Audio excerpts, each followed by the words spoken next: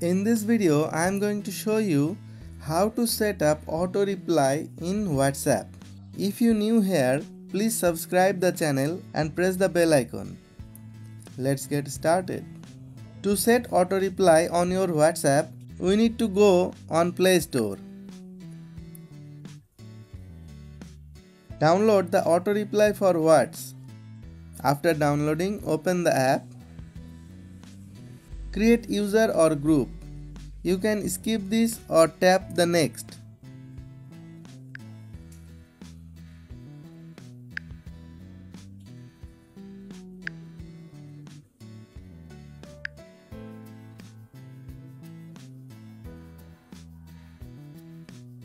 It will take some time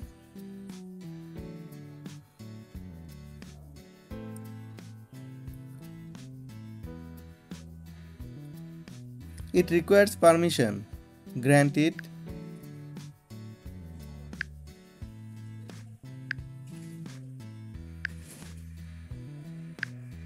Auto reply for all messages. If we turn on this, this app will send auto reply to your every contact. If you want to set auto reply one by one on of your contact, tap the plus button from here. Type the name of your contact. You can pick this from your contact. After selecting the contact, tap submit. If you want multiple contact to add on this auto reply, tap on the plus button and select the name. Tap on the auto reply. From the three dot menu, you can change the setting of auto reply. Explore, edit or delete. Tap explore Tap here to set default message for auto reply. If you don't want to send the auto reply default message, you can edit this from the pencil icon. Tap on your message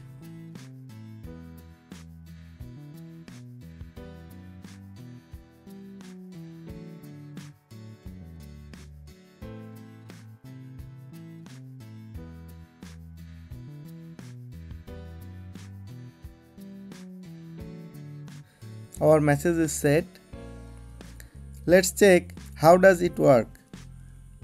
To check this i am sending a message to this whatsapp number and let's see what happens.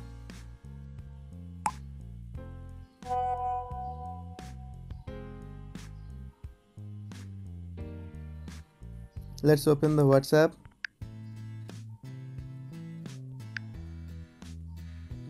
You can see here a message comes saying hi and our auto reply reply immediately hey i'm not available right now. Send me a message. I will reply you later.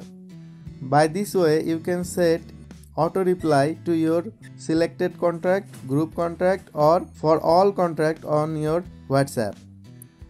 That was our today's video. Hope this video was helpful for you Please give a like and subscribe to our channel. Get connected with the tutorial lab. Thanks for watching.